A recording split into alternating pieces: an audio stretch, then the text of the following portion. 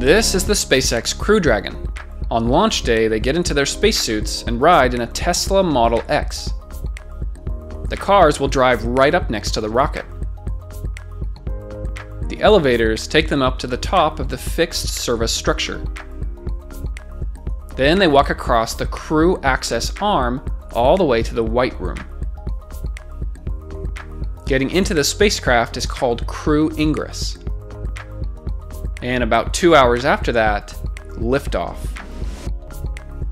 You can watch the full video on my YouTube channel.